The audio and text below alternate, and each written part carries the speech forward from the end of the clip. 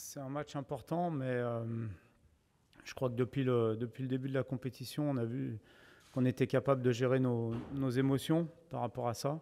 Et c'est ce qui est le plus important dans ce genre de, de match à élimination directe, parce que les deux équipes sont très proches. Le match sera très équilibré. Je l'ai dit, ce sera sûrement euh, du 50-50. Et c'est souvent l'équipe qui a le plus de, de lucidité et de, de, calme et de sérénité qui, qui l'emporte dans ce genre de confrontation.